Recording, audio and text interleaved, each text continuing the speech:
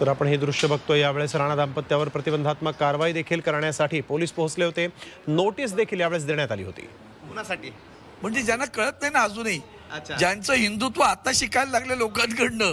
म्हणजे मला आश्चर्य वाटतं इतक्या वर्षात तुमच्या भाजपने कधी हनुमान चालिसा गायली ते आम्हाला माहिती नाही. जो तो भाजपाचा वाढूस येतो आणि वकिली करतो. कशासाठी? तुम्हाला हिंदुत्व सिद्ध करायला हनुमान चालिसा गावी लागते? आमच्या वंदनीय शिवसेनाप्रमाणे हिंदुत्व हे राष्ट्रीयत्व म्हटलंय लक्षात घ्या. ज्यांना ते कळत नाही ती आपली अशी विद्वत्ता प्रकट करत असतात.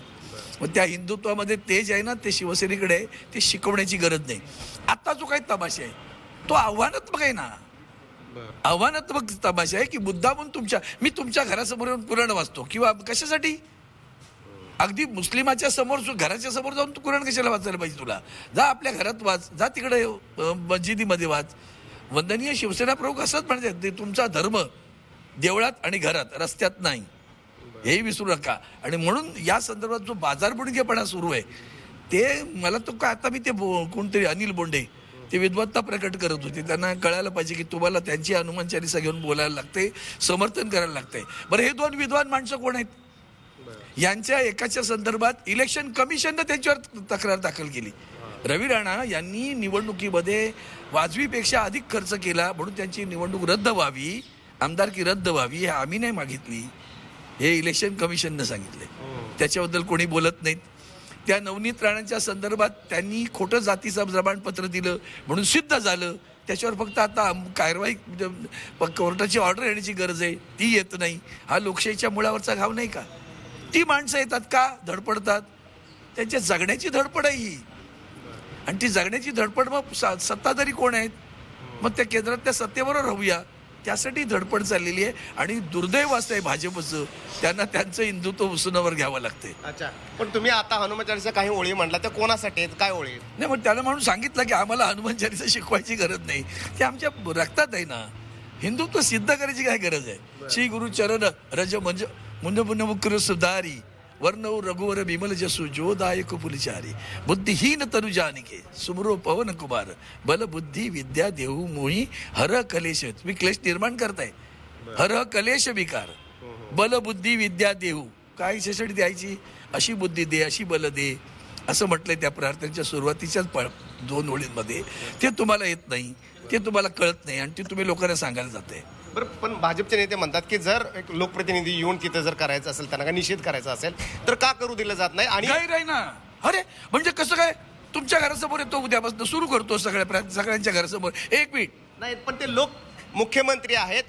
किरीट सोमे म्हणतात की अनेक वेळा मी वर्षावर जाऊन तिथे निषेध व्यक्त केलेला आहे. मग आता शिवसेना का? शिवसेनेचे हे माफिया का? माफिया गुंडे म्हणतात की तिथे ठेवलेले आहे. का?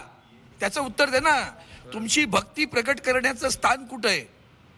तुम्हाला काय प्रकट करायचं आहे आत्ताच हनुमान चालिसा अरे देशामध्ये महागाई बेरोजगारी भीक भूक त्या भुकेमध्ये गेला सगळा देश खाली. आकडा बघा सार्वजनिक याच्यामध्ये काय झालंय ते.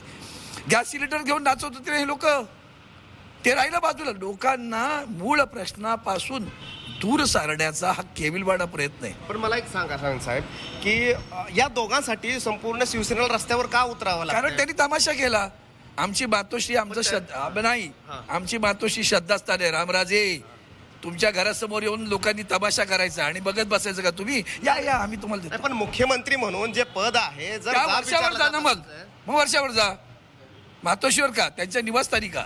सोमे म्हणतात की शिवसेनेचा माफिया राज चालू आहे. ते तो तो स्वतःच बापी आहे. त्यांनी आयुष्यभर लोकांना ब्लॅकमेल केलं.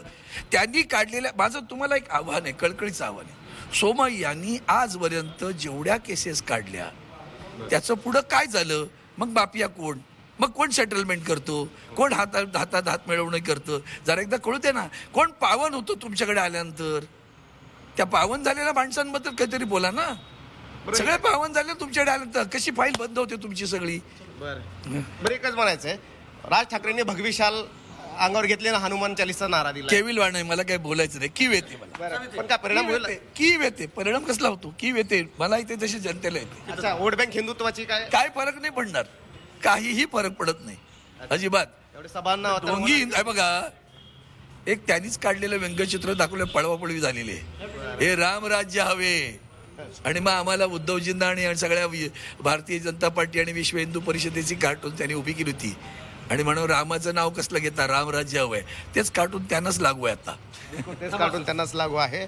परंतु अं, माफिया जे आहे ते भाजप करत आहे आणि ज्याला जसंच तसं उत्तर शिवसैनिक देणार असा दावा अरविंद सावंत यांनी केलाय. आपण